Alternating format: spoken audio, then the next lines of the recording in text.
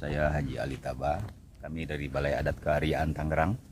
Dalam hal ini kita datang ke makam Syekh Gajah Barong di Barat Tangerang eh, dengan tujuan untuk coba investigasi terkait eh, berita yang ramai di medsos tentang adanya penambahan nama dari Syekh Gajah Barong ke eh, satu nama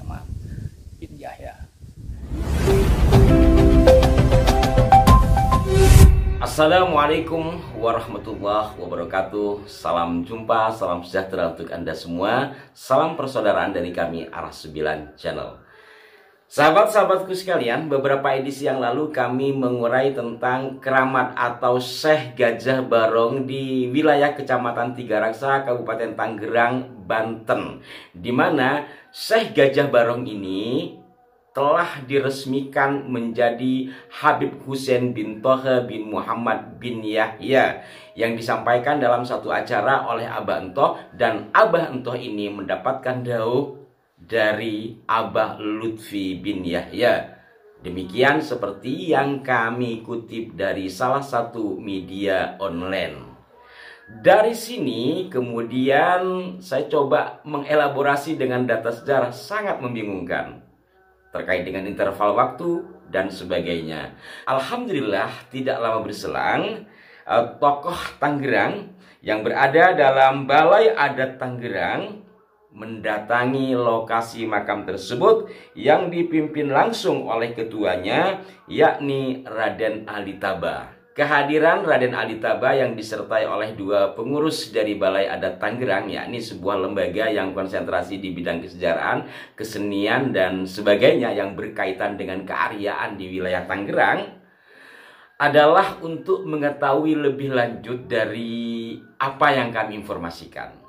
Dan dari kehadiran beliau ini setelah melakukan wawancara dengan petugas makam dan sebagainya, kemudian dibuat rilis dan rilisnya alhamdulillah eh, dapat kami terima. Saya akan bacakan Pengurus Balai Adat Tanggerang mendatangi makam Syekh Gajah Barong di Kecamatan Tiga Raksa. Beberapa hari ini, makam ini viral di media sosial setelah kanal YouTube Arah 9 channel mengangkat adanya pembelokan nama Syekh Gajah Barong menjadi Habib Hussein bin Yahya Ba'alawi.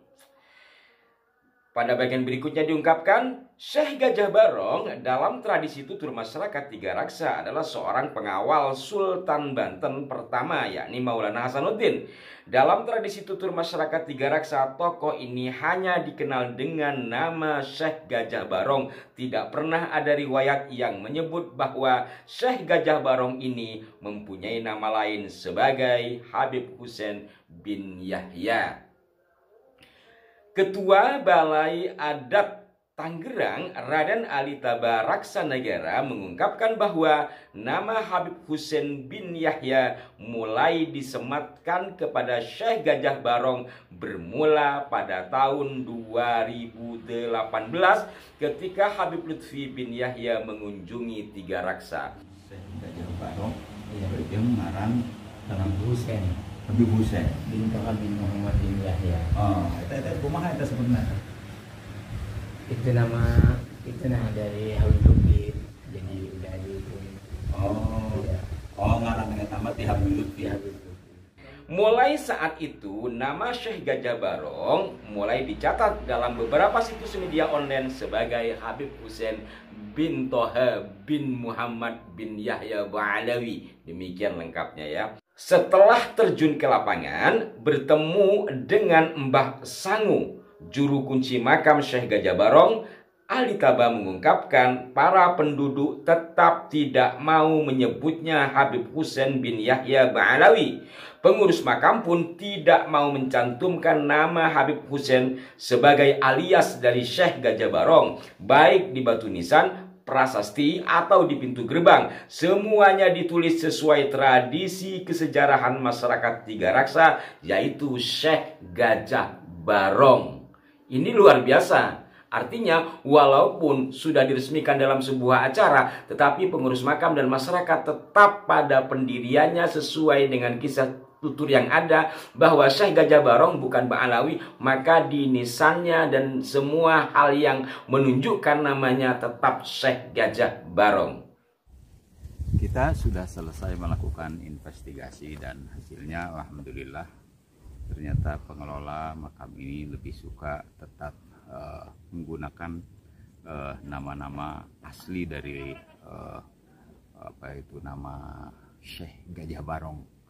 Bahkan uh, tidak ada perubahan apa pun dari uh, nama gerbang kemudian di batu nisan. Dan saya kira uh, ini harus kita jaga karena bukan apa-apa.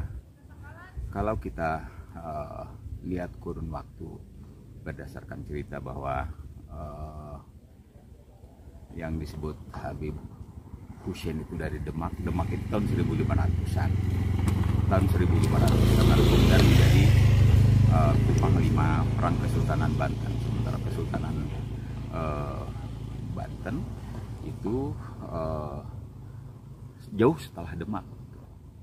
Dan sulit kita untuk menemukan tahun yang cocok yang sesuai apabila nama itu masih tetap mau dinisbatkan ke se Gajah Barong uh, yang jelas bahwa alhamdulillah bahwa pengelola makam tidak melakukan perubahan apa pun untuk semua masukan-masukan uh, yang uh, apa itu ternyata juga tidak terlalu familiar di di, di telinga para peziarah.